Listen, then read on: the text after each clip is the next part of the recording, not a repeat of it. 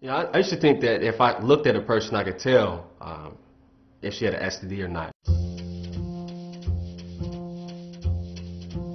The person might not have any skin rashes or anything like that, um, and look healthy and beautiful and everything. They still might have disease. So A guy once told me, well, if we do it in a hot tub, then the chlorine will kill whatever's there. the chlorine or whatever will kind of kill off any germs that you might get.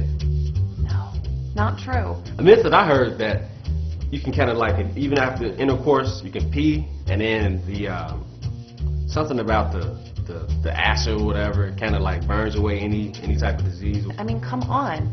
That's not true either. Uh, the pill, yes, it prevents you from getting pregnant if you use it properly, but not preventative against STDs. I heard that um, that you can use saran wrap instead of a condom.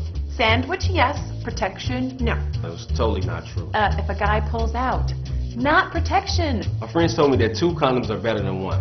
That's not a good idea either. What else have I heard? Um, if you do it with your clothes on, just That's not a good idea. let's be smart about this, okay? A lot of these STDs don't have symptoms, so mean, you could have an STD and not even know it. I'm no angel or anything like that. You never really know. So for me, I, I just decided that it was time to get tested. If you're having sexual contact with someone, get tested.